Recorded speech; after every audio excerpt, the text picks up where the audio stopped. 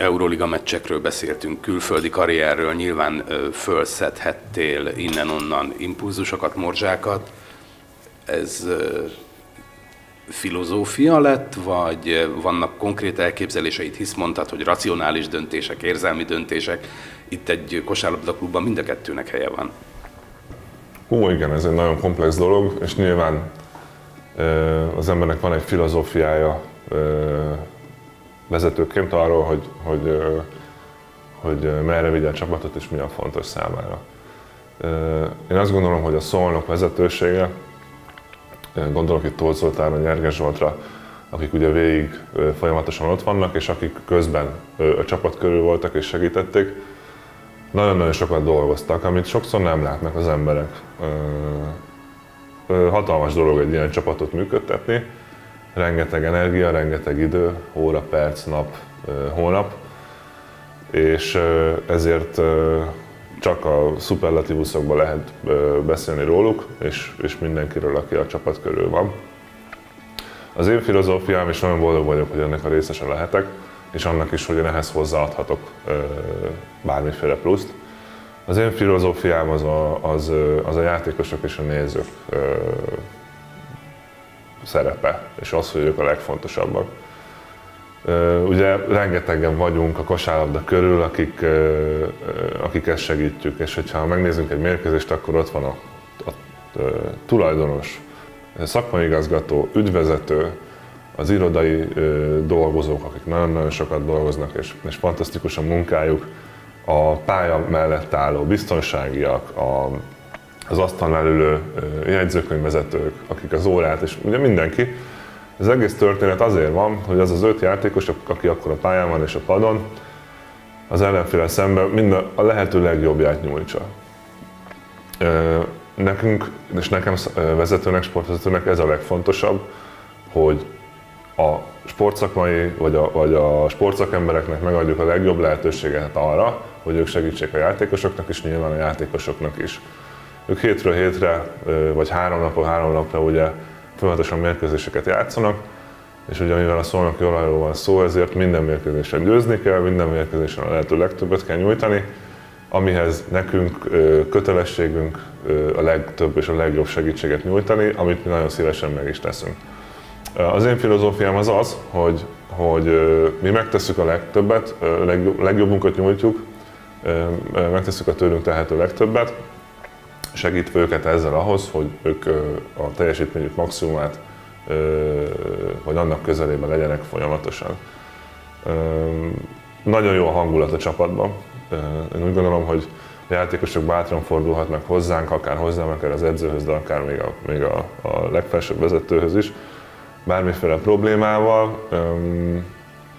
Ez egy ilyen szempontból viszonylag laza, és ö, ö, lazább kapcsolat, viszont edzéseken és a mérkőzéseken a teljes professz, és a mérkőzéseken kívül is, és az edzéseken kívül is nyilván az életbe, a maximális profikat szeretnénk ö, belőlük kihozni, és elvárjuk tőlük azt, hogy mindent alárendelnek a sportnak. Mi mindent megteszünk, ezért tőlük is elvárjuk azt, hogy mindent megtérnek a, a csapatért. Ha ezek megvannak, akkor jöhet ugye az, hogy játékosok és a közönség. Nekünk a legfontosabb és a legnagyobb célunk az, hogy a Tiszaligeti Aréna minden mérkőzésen a lehető legjobban tele legyen, vagy tele legyen mindig. És az, hogy nyilván ahhoz, hogy a nézők kijönnek a mérkőzésre, ahhoz az kell, és visszakanyarodok itt az előző részhez, hogy a játékosok jól játszanak, az eredmények jöjjenek, a játékosok szeressenek játszani, látszon ez az arcukon a küzdés, akár a boldogság, az öröm, és a, a, az a kohézió, amit kintről is ugye a nézők is látnak, de nem is csak azt, hogy látnak, hanem éreznek. És ezt a nézők ezért nagyon hálásak, és ezt ö, ö, nagyon jó hangulat és ö, pozitív ö, felfogás formájában meg is hálálják. A játékosok pedig ezt érez, érzik. Mi akkor vagyunk a legboldogabbak, vagy személy szerint én, hogyha ülök a nézőtéren, jól játszik a csapat, folyamatosan hozzuk az eredményeket, ö, ö, látom a játékosokon azt, hogy, hogy, hogy élvezik ezt az egészet tényleg, és egymásért küzdenek, a nézők pedig folyamatosan visszajönnek a mérkőzésekre.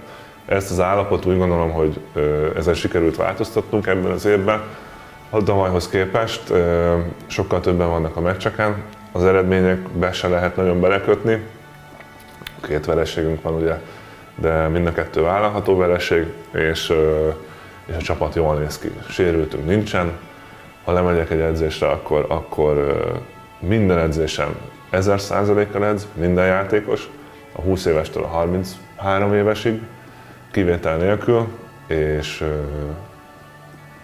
azt gondolom, hogy az edző és az edzői stáv pedig taktikailag és szakmailag nagyon jól készíti fel őket. Dragan Alexicset egyébként szeretném, nem gondolom azt, hogy meg kell őt védeni, de amikor ugye itt a nyáron volt a német edző távozása után, ugye kineveztük őt edzőnek, főedzőnek, akkor, akkor akár telefon formájában, akár, akár az emberek is így megtaláltak azzal, hogy, hogy biztos vagyok-e, vagy biztosak vagyunk -e ebben a döntésben, és hogy ez egy jó döntés.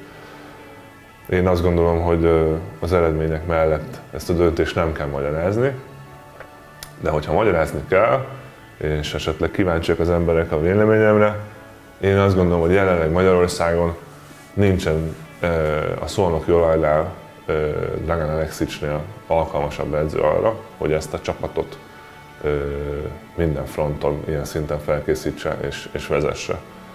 A szolnokon edzőnek lenni az egy nagyon speciális helyzet, és ha ebbe beleveszünk egy, egy új edzőt, gondolok itt akár András Wagnerre, ugye, aki, aki jött volna hozzánk, nem biztos, hogy teljesen alkalmazkodni tud az itteni helyzethez, problémákhoz akár, vagy a speciális atmoszférához, ami a klubot ugye körbeveszi.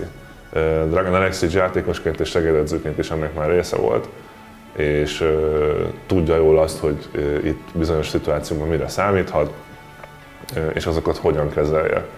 Azt gondolom, hogy ő is, mint edző, az évek során nagyon sokat változott, fejlődött, kiválóan felkészült edző, és azt gondolom, mi, mint vezetők vakon megbízunk benne, és, és szakmailag nagyon jónak tartjuk.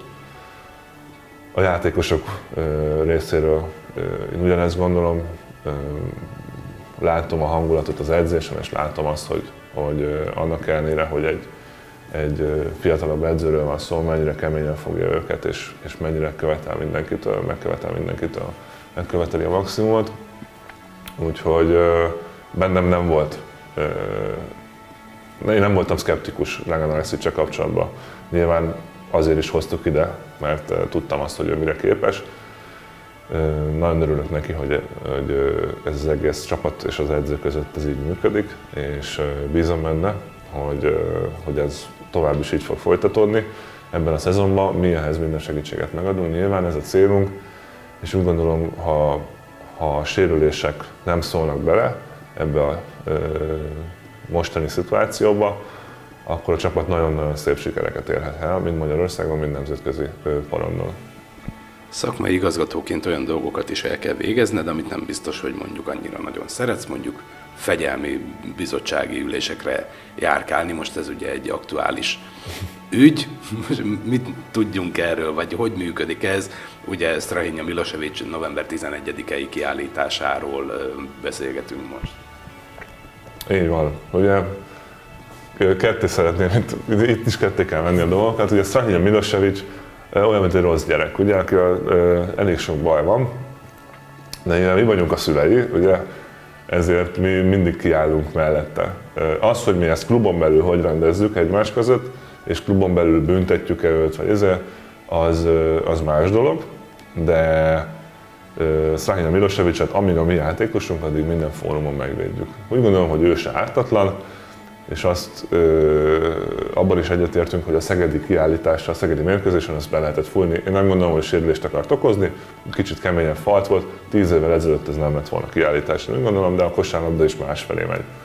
Kontaktsport, férfias sport, én a magam részéről, mint volt kosaras, én mindig nagyon szerettem, hogyha nem azt mondom, hogy durvaság, de még a durvaság is néha belefér a kosárlabdába, néha egy-egy ilyen tiszteletet parancsoló valami. Ezt Rahina Milosevic ezt, ezt azt csinálta ott, amit ha nem tudom, ha őszinte akarok lenni, én is ezt tettem volna, egy erősebb faltot. Az, hogy tényleg uh, így sült el, kicsit el is dőlt ott a levegőbe, kiállították, azt gondolom, hogy jogosan, visszanézték a videót, szerencsére ott használták a bírók, és kiállították.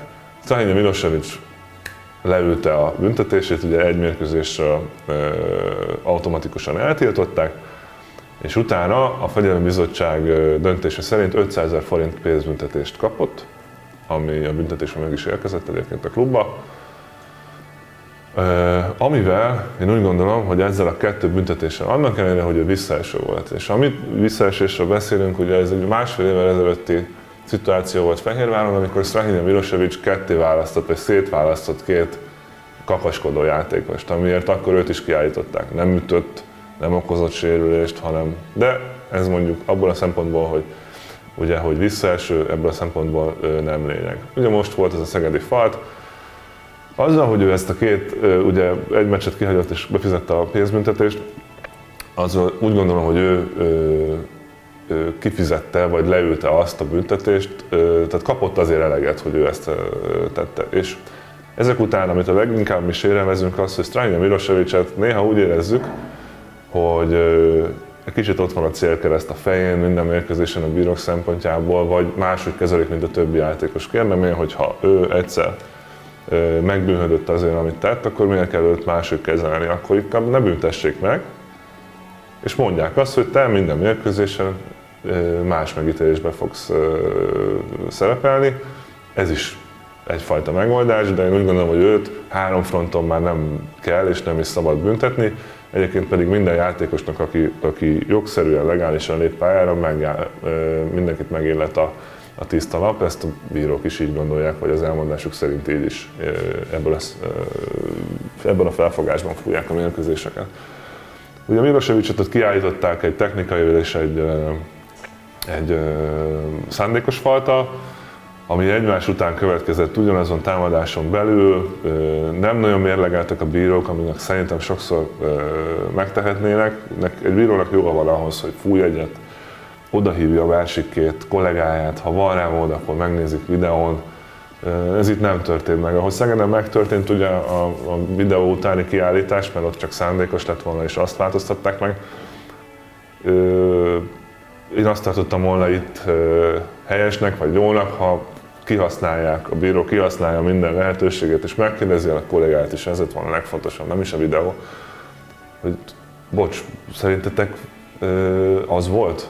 Mert azt viszont a bírók tudják, mert előtte volt egy támadással, hogy neki már volt egy szándékosa, egy problémás játékosról van szó. Hozzáteszem, minket nem a, belőlünk nem a keseredettség beszélt itt, ugye, mert megnyertük a meccset jó játékkal, a Mavs is elégedett volt, a szólók is mindenki elégedett volt, ugye kivéve ezt az esetet. Ezen eset után nekünk két problémánk volt, az egyik a következetesség hiánya, utána volt macos oldalról olyan, ahol ugyanezt kellett volna fújni, és ez nem történt meg. A másik pedig a, a, ez az automatikus egymeccses eltiltás, ami, ami igazából sehol nem gyakorlat Európában. Ha megnézzük a Europe Cup-os mérkőzéseinket, ott se, tehát ha valaki két technikaival, vagy egy szándékossal, egy technikaival, vagy két szándékossal kiáll, az olyan, mint a kipontozódna idő előtt, a következő meccsen, ha csak nem történt olyan ö, szándékosság, ütés vagy bármi, akkor automatikusan játszhat. Ugye ez itthon automatikus egy meccs és fegyelmi. Ö, a tárgyaláson is, ugye a csütörtöki tárgyalási napokon ezeket megtárgyalják. Ö, attól függetlenül, hogy lehet, hogy két olyan szándékos hiba volt, idézőjelben szándékos, hogy még nem tudom, nem a labdára irányult, tehát semmiféle durvaság nincs benne én ezt nem tartom jónak, ezt a, ezt a vezetőség nevében is, is mondhatom. Én úgy gondolom, hogy ebben a szövetségnek, vagy a, a Magyar Bírói Testületnek jó lenne a nemzetközi szabályokat követni, és tényleg akkor legyen tárgyalás, hogyha valami durvaság történik. Remélem, hogy ezt egyébként tárgyalni is fogják, és ez, ez, ez szóba jön majd. Ugye ez nem csak az NBA egy A csoportra szól, hanem a, a, a B csoportra is, a MB2-re is, tehát mindenhol ugye jelen van ez is nem csak, nem csak minket sújt, és nem csak a szolnokot, hanem más csapatot is.